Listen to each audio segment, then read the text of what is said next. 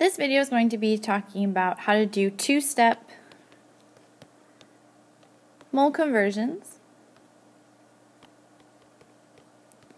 Remembering that we're all starting off in the center with moles, with our mole town map, to go up to the top with our mass. We have to use our molar mass for every one mole. Over on the bottom right, we have our volume village. And to go from our mole center to our volume village, we use our conversion that one mole of gas is equals to 22.4 liters of gas. And to go from our mole center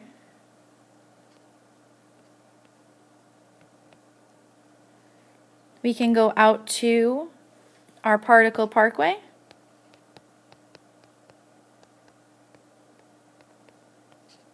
And to go from moles to particle park, we have to use Avogadro's number where one mole is equal to 6.02 times 10 to the 23rd particles,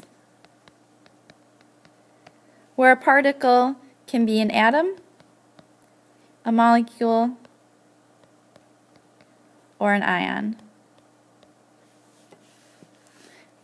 So take a moment, copy this down, or pull out your Moletown sheet, and this will help you be able to figure out your path to go through two-step mole conversions.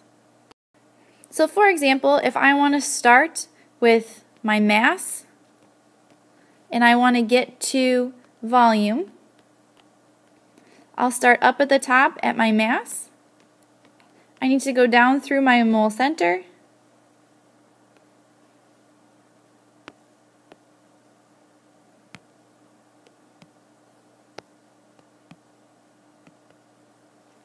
And then down through volume village. So to get from my mass to my mole, I need to know my grams from my molar mass. And then to get from mole center to volume village, I need to know my 22.4 liters for every one mole. So for example, if I want to calculate how many liters of gas are in 1.3 grams of carbon dioxide. So from an earlier video of going from grams, or excuse me, Going from grams to moles of carbon dioxide, we've calculated that the molar mass of carbon dioxide is equal to 44.01 grams of carbon dioxide because I have 12.01 grams of carbon plus 2 oxygen atoms, so 2 times 16.00 grams of oxygen adds up to 44.01 grams per mole of carbon dioxide. So, if I'm starting off with my 1.3 grams of carbon dioxide and I'm going to liters, my first step is going to moles and then from moles to liters. So my 1.3 grams of carbon dioxide, I know that I have 44.01 grams of CO2 for every one mole of CO2. And for every one mole of CO2, I have 22.4 liters of CO2. And that's from going from mole center to volume village. I plug that all into my calculator, my 1.3 grams divided by 4.01 times 22.4.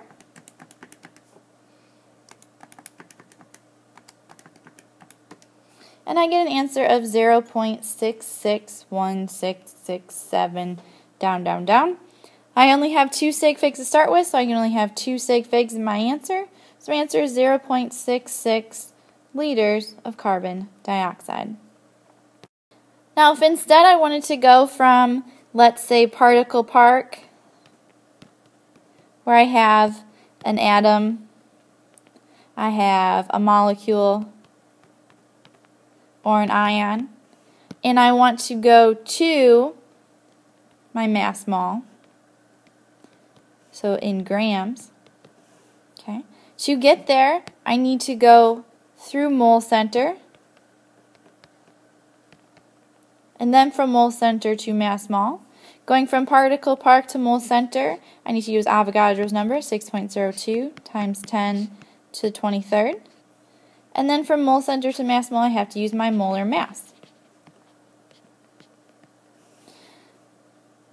So again, using my example of carbon dioxide, let's say that I start with 3.8 times 10 to the 24th molecules. And I want to know how many grams of carbon dioxide do I have. So I start with what I'm given, my 3.8 times 10 to the 24th molecules of CO2. I multiply that, then I have to go from molecules to moles, CO2. For every one mole, I use my Avogadro's number of 6.02 times 10 to the 23rd. And then to go from moles of CO2 to grams of CO2, I use my molar mass, which I calculated earlier, to be 44.01 grams of CO2. So in my calculator, I take my 38, I divide it by my 6.02, and I multiply it times 44.01.